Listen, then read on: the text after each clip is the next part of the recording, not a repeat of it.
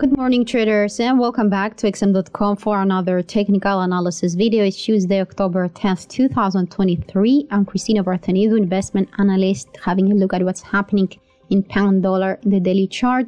So, uh, zooming into the chart, we can see that the pair keeps pushing for a close above its uh, 20 day simple moving average and this descending line coming from July shortly after pivoting from a seven month low of 1.2036. Uh, it's basically couldn't uh, overcome its 20-day um, moving average uh, over the past two days, closing slightly lower at 1.2235.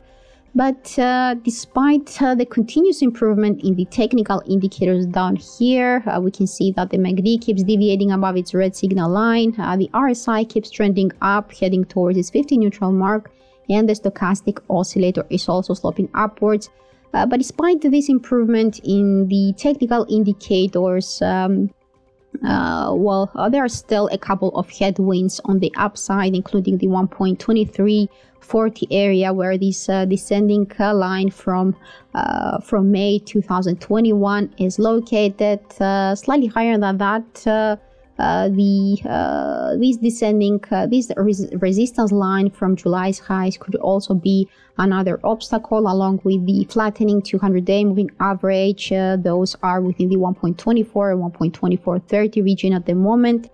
While uh, not far above that, the 50-day moving average could also limit bullish actions ahead of the 1.25 round level. So uh, we would need a durable move above that uh, level and above the 50 uh, day moving average in order to put that uh, downtrend in question.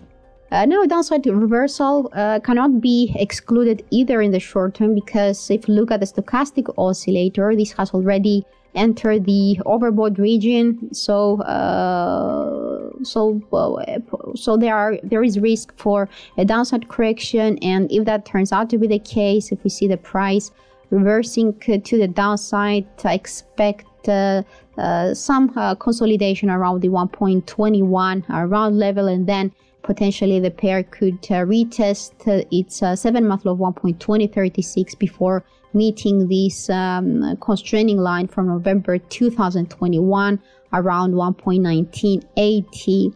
Uh, if that proves uh, fragile, uh, then the downtrend could stretch towards the 1.19 psychological mark, while a, a, steeper decline could even reach the 2023 low of 1.19.